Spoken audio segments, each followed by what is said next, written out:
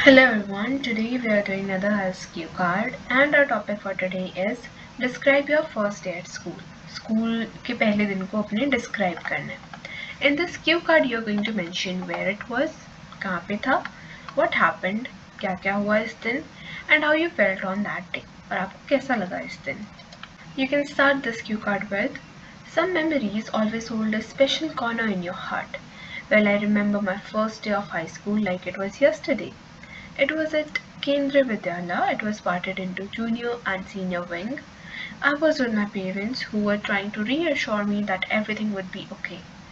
As we walked through the gates, I saw a sea of unfamiliar faces which made me a bit nervous.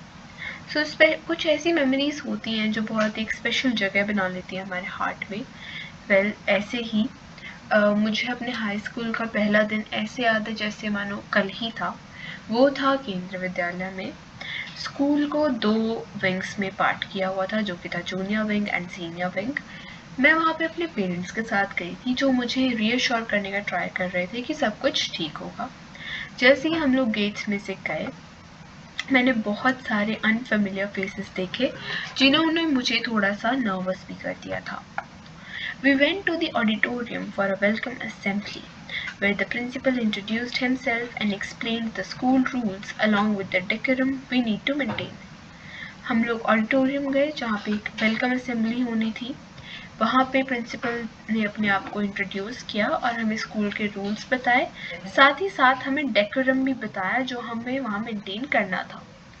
The hall was decorated with posters filled with motivation quotes then we had a tour of the campus which was huge I was amaze by the football field the swimming pool and the library जो पूरा hall था, उसको posters के साथ decorate किया गया था, जिसके ऊपर मोटिवेशनल कोर्ट्स लिखे हुए थे।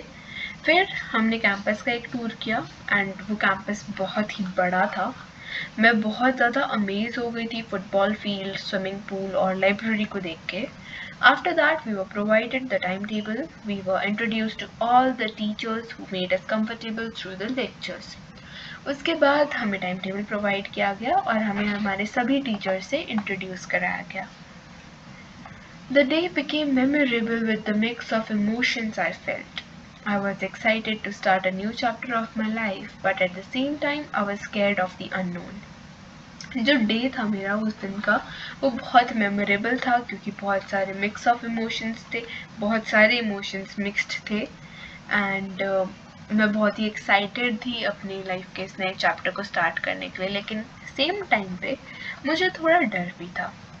I remember feeling a sense of accomplishment when I went to the canteen and had a new friendship with my new classmate it may seem like a little thing but it was a big deal for me मुझे याद है कि मेरे अंदर एक sense of accomplishment आई थी। जब मैं कैंटीन गई और मैंने अपनी एक नई क्लासमेट के साथ दोस्ती की अब ये एक छोटी चीज़ लग सकती है, लेकिन मेरे लिए ये बहुत बड़ी चीज़ थी।